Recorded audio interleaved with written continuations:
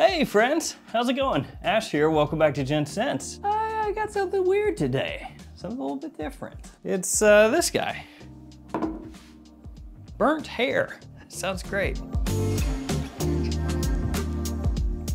So this is a fragrance released by The Boring Company, which is one of Elon Musk's ventures. And I ordered this back in October of last year. So that's when the pre-sale for this was. And uh, it took until now to get it in. I actually forgot a few times that I had even purchased it. And then I would get an email in like, hey, just an FYI, we're still working on this. And I'd be like, oh yeah, why did I buy that? Maybe not my smartest purchase of all time, basically looked like a complete gimmick uh, when I placed the order for it, but I knew what I was getting into. I mean, fragrance named burnt hair, you kind of know what they're doing there, right? It's on the nose. At least you don't buy it and expect it to be something wearable, and then you get it in and you're like, oh, this is terrible. How could they do this? It's called friggin' burnt hair. Uh, it was $100. So that's how much I ponied up here to get this one in. It arrived earlier today and I, I couldn't hide my excitement. I went ahead and opened it up and I have sprayed it on already, but I have only sprayed it on once, so this is still a glorified first impression. I'll link it down below. I did check before uh, turning the camera on and it shows sold out, so I don't know if they're gonna make more of these or not. I'll tell you what my initial thought process was here.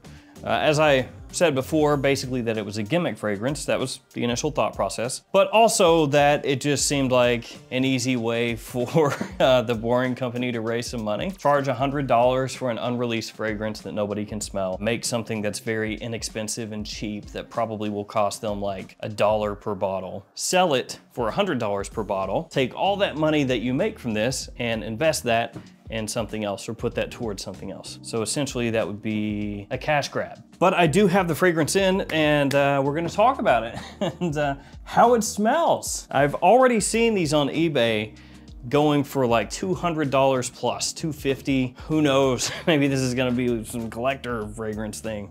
So let's take a look at the presentation, but first off, we'll look at this little card that was inside of the box. Just says, hey there, Smoke Show. Congratulations on your purchase of burnt hair. It's going to be lit, but not literally. Oh, oh, oh, oh, dad jokes. Flip over this card for some boring legal language about flammability. Then you just look on the back and it, it basically just says, hey, don't set this on fire. And that's pretty much it, just, yeah. So I'm glad they included that because otherwise, who knows what could have happened here. So here is your box. It says burnt hair singed on the front there, and that is honestly pretty much the entirety of the presentation. It's got a velvety feel on it, uh, similar to some of the clone fragrances out there that have those like velvety feeling bottles that I absolutely hate, kind of like those. Nothing on the bottom, no stickers, no batch codes, no concentrations, no sizes of the fragrance, nothing, just burnt hair singed. Opens up like so, and you have a little cutout where the bottle sits in there and uh, it is foam on the inside right there on the base anyway. And here we have the bottle. This is, you know, just a little stock bottle with a gaudy plastic faux jewel cap.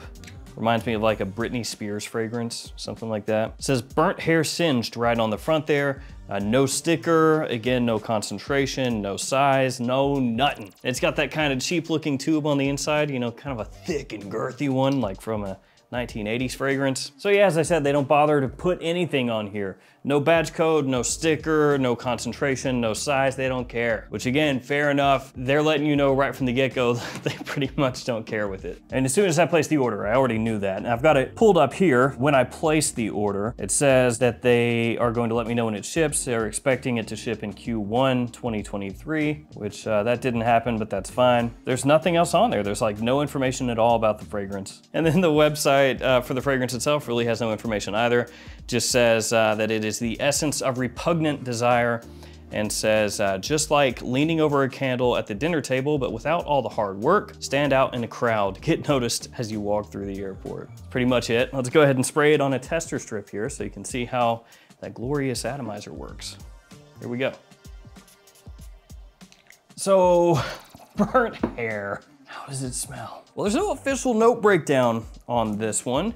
I will tell you though, it does not remind me of the smell of burnt hair, for better or worse. It does definitely remind me of the smell of something else though, very, very clearly, which I picked up on immediately as soon as I sprayed this on. This smells basically like somebody nearby you has lit up a bowl of weed. That is pretty much it. It smells like that coming off the tester strip right now, pretty clearly. I would say more clearly than any fragrance that I have ever smelled. There are a lot of fragrances out there that have a cannabis note, a hemp note, marijuana note, whatever you want to call it. A lot of fragrances will have that in there, but usually it doesn't actually smell like anything super close to that. And this one does. It's, it's got that kind of funkiness to it. Yeah, like just really clearly. So burnt hair, no, some dude smoking weed near you, or possibly you yourself. Yeah, pretty much.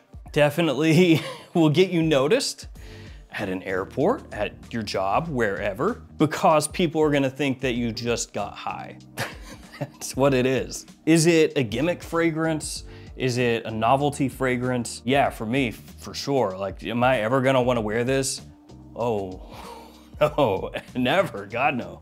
Like, Nothing good can come from that. But is it the type of fragrance where you have people over and you go like, hey man, check this out. And you spray it and hand it over to them and you go, what does it, what does it smell like? What does it remind you of?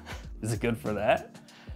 Yeah, yeah, it's good for that. It's pungent too, man. Like if you keep smelling it over and over, it's kind of headache inducing. Oh, whoa. $100, let's go! And my wife picked up on it immediately as well. Like when I sprayed this on and I, I you know, came over to her, was like, what's this remind you of? She just stopped me right away. She was like, oh, I know exactly what it smells like. She went into even greater detail. She was like, it smells like the first person that smokes the bowl. She was like the very first person that lights it. Smells like that. So I'm gonna defer to her on that. I don't know. Maybe there's like some faint coffee undertones in the opening. Obviously there's a smokiness that runs through the fragrance. As it dries down, it mellows a little bit and it's not as acerbic because when you first spray this on, it can be a bit harsh, a little rough around the edges to an extent when you first spray it on. As it dries down, it, it, smooths out a little bit, but it still maintains pretty much the same scent profile. Maybe a little bit of woodiness comes out, like smoky woodiness uh, as it dries, but it's not a massive change from the opening to the dry down. It's very subtle. So pretty much when you spray this and you smell it, you know what you're in for. Smoky, woody weed. That's pretty much it. Was it worth the nine month wait? I, I don't know. it's not what I expected, but it is exactly what I expected. I expected it to be more, I don't know, intentionally gross, I guess, because of the, the burnt hair name and everything. And the repugnant desire and talking about your hair being burned by a candle. I expected it to be a gimmick, to be a novelty. So that was not a surprise. I, I knew what I was signing up for, like I said before. I didn't expect it to come across as maybe not photorealistic weed being smoked, but really close to photorealistic. I didn't expect that at all.